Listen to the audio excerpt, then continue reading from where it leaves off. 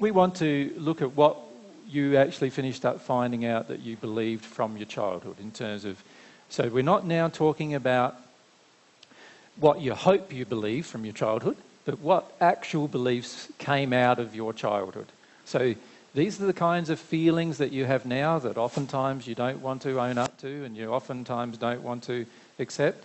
And what we want to do is find them and feel, feel about them. So, so, what are some of those beliefs that you found from your childhood? If we, Carolyn, if we go there first. If I am not strong, I will not survive. Okay, so so can we say that you needed strength, but what did you define strength to be? What what do you mean by strong? I meant um, I meant if I don't do what it takes to survive in my environment, whatever that may be. So would you view crying as strength? Yeah, no, not okay, at all. Okay, so so that so what does what does strong, strong mean? means powering through something or So so keeping up with the pack. Basically. so could you say no emotion is strength? Yeah. We, yeah. What else? Um, like I feel like that keeping up with the pack. Like if my parents were doing something and they had a certain emotion, I had to buy in and be doing that same thing, or else I'd be left behind. So so agree with the pack, shall we Uh go? With the pack in this case, it's the family pack, isn't it? Uh huh. Yeah. Okay. So in other words, if you don't agree with the family, you're the odd one out. Definitely. And, and it's never good to be the odd one out. never a good thing, right? Yeah. What else do you, do you th- define strength to be? Uh, intellectual strength. So mind over feelings? Could that Yes. be Definitely. good? And physical strength too. Okay, so almost it's almost a feeling, isn't it, that men you've got to be like a man almost. Yeah. Because men generally have more physical strength than women. It, it, it's almost like a competitive nature. I have to win. I have to be competing against Okay, people. so could we call this compete and and win? hmm You can't compete and lose. No. That's not the goal of competition. That's not the goal of competition. You've got to compete and win. yes. And if you didn't win, don't compete. exactly. So if you knew you weren't going to win something, don't even bother going there. Definitely. Yeah, yeah, good. Which goes back to the if I'm not perfect, I can't, don't even start. Okay, so whose definition of perfect was it though? My parents. Okay, so if we just write that down as a major heading, perfect, but it's not sort of God's definition of perfect, it's parents' definition of perfect, or society's definition of perfect. Yeah, Uh-huh. good. What else is involved in perfection for many of us?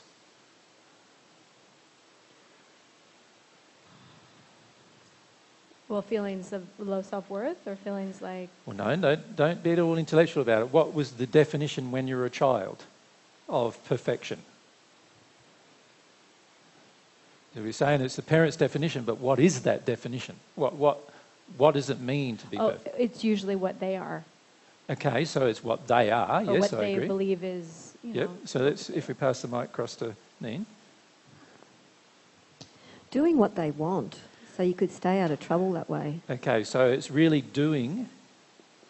Again, it's not feeling, is it? It's doing. You don't. You could. You can almost have a completely opposite feeling, but as long as you did what they want, you, inside you can feel like I don't want to do what they want. What they want, stupid. You can. You can have all those feelings inside yourself, but you don't voice them. You just do what they want. Because if you voice them, you get punished, you get hurt, you're no longer perfect in their eyes. So a lot of the times we had actually feelings that opposed our parents' definition, but, but we never voiced them. We always finished up doing what they want. So it's the doing what parents want, not feeling what parents want. See, most parents are not aware that when you do what they want, most of the time you don't feel what they want. this is why, you know, the average child grows up and eventually cleans up its room, maybe, if the parents want it. And if the parents are willing to revert to violence in order for that to happen, then the child will finish up cleaning up the room. But as soon as the child goes off and lives by itself, what will it do? it, its room's a mess, right? And there's the rebellion. In other words, they didn't feel to clean up their room. They didn't feel they wanted to. They didn't feel the tidiness and the self esteem involved in tidiness and all of those kind of things. They just did what mummy and daddy wanted just to get out of feeling a whole heap of other bad things, really. And then as soon as they get out of the mum and dad's area or sphere of control, they go and do the opposite of what mum and dad wanted. And, and yet, when mum and dad come to visit, what do they do? Have a big clean up, you know, everything goes back in the right place, it's all spotless then. Mum. And then, of course, if mum and dad rock up un, uninvited, it's a, like a huge panic then, right? Because, you, because all of the things that you've been doing that you don't want them to see. Yeah. What else is the definition of parents' definition of perfect? Thanks, Ron. Don't make them feel things that they don't want to feel. Don't? Sorry, say that again. Make them feel what they don't want to feel. Okay, so so in other words, only make them feel good. Right. Basically, make them feel good. Make them feel Definitely. good. Yeah. So perfect in your parents' eyes is making the parent feel good.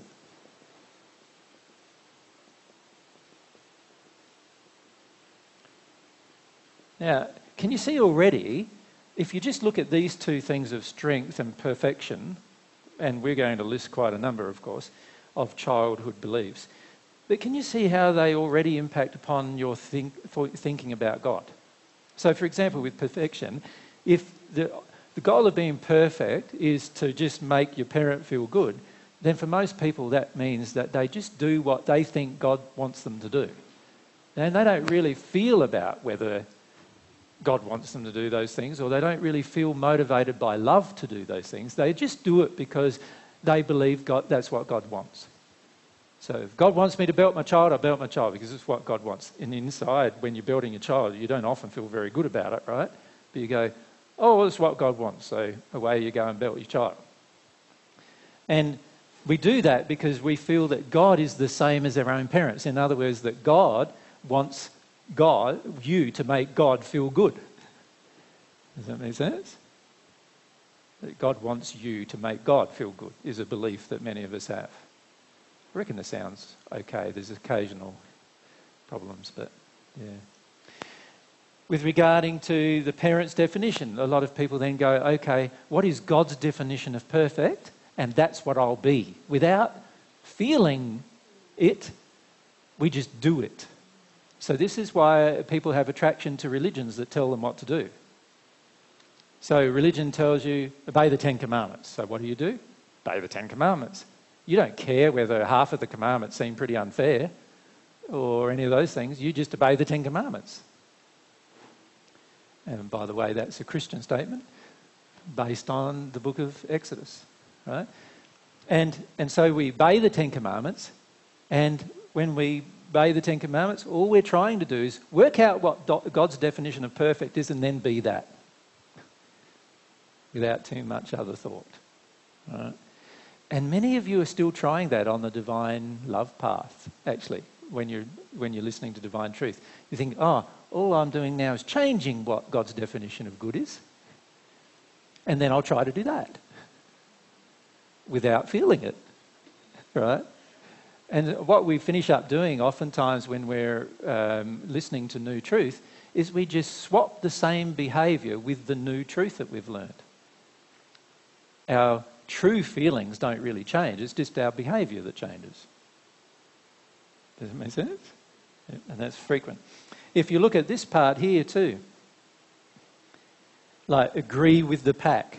This is very much a religious thing, isn't it? If you don't agree with the pack, with the religious definition of what should be right or wrong, what happens usually in most religions? Well, they do exactly the same as what the family would do to you, and that is boot you out of it or put a heap of pressure on you to reconform. That's what they do. They don't honour the fact that you're allowed to make a different choice or decision if you want to. Right?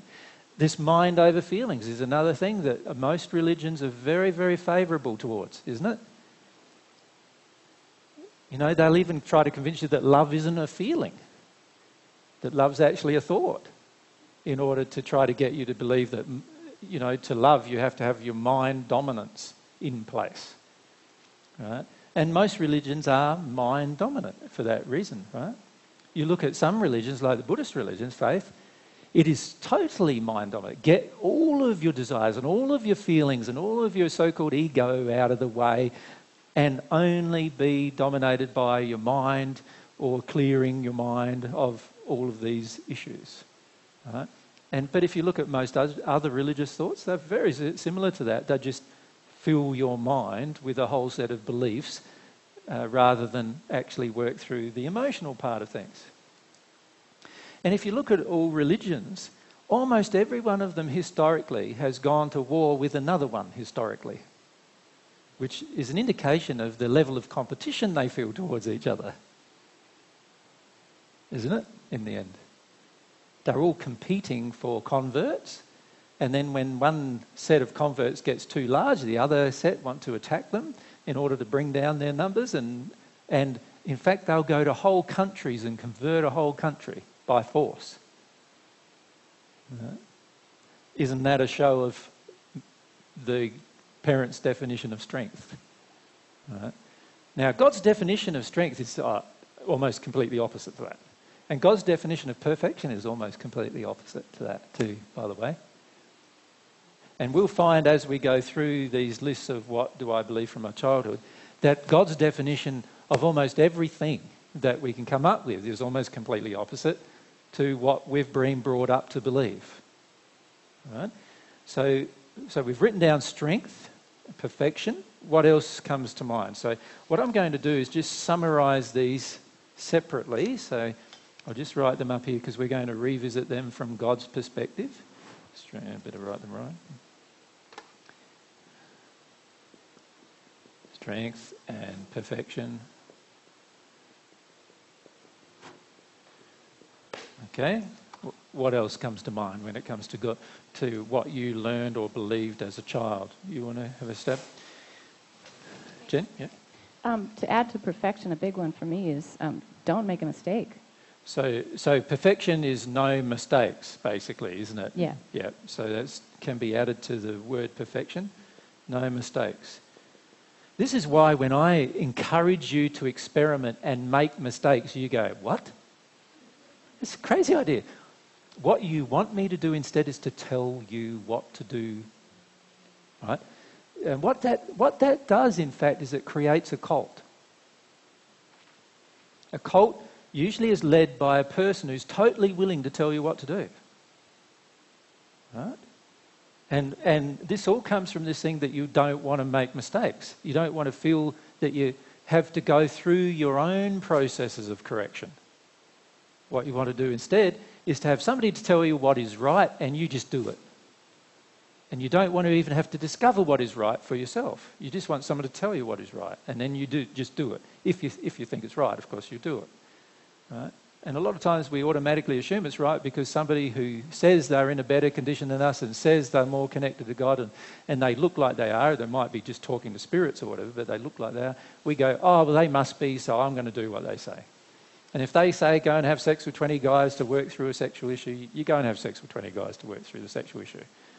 Right? And there are a lot of cults on earth that actually encourage you to go and have sex with 20 guys or girls to work through an issue. Right? It's not the best way to work through your sexual issues. In fact, it's one of the worst ways, in my opinion, to work through your sexual issues. But they'll encourage you to do it.